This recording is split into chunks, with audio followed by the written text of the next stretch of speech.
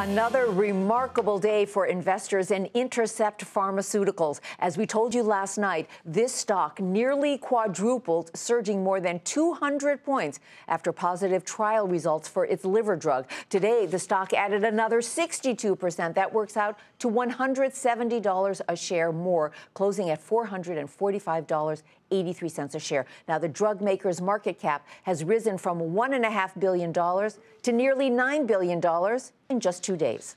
So, what's so hot about Intercept? It has no products on the market, it doesn't make money, it has just 45 employees. Joining us now to talk more about this phenom is Jonathan Eckert. He's a biotechnology analyst at Citi. Jonathan, welcome. This is a fascinating story, and I want to get into it in the time we've got. But I want to start by just asking a dumb question. How can something like this happen? it's, it's a really unique situation. So this trial that read out this week really was not expected to be positive at all. This setting of liver fibrosis is one that has had failures for years and years.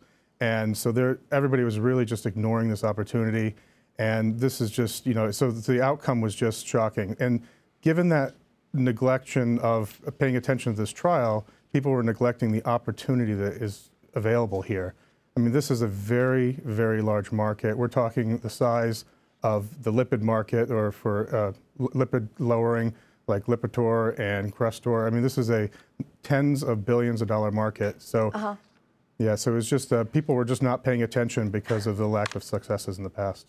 All right, but you know, as as uh, Tyler just said, it, it, has this only one product, and this product really isn't a product yet. It still has to go through clinical trials, and I'm guessing that's going to take a couple of years. So, what happens to this company in the meantime, and what does it mean for investors? Well, the uh, regulatory path from this stage is unclear.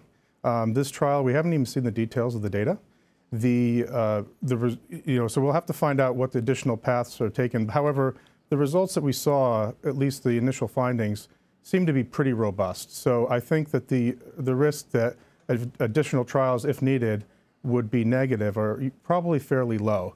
Um, so that is more of a timing issue versus a, is it actually going to get to the market? Mm -hmm. um, so the bigger question is how big is this opportunity?